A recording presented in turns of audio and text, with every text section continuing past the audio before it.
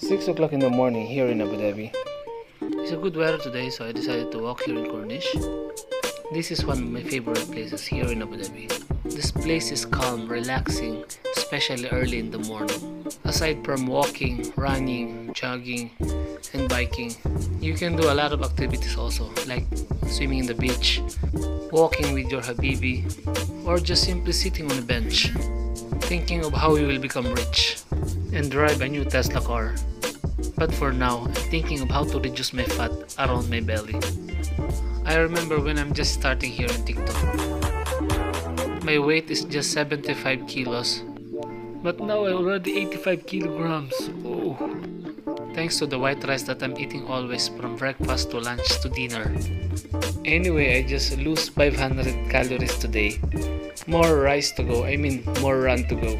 That's it for now. See you in my next video and follow for more.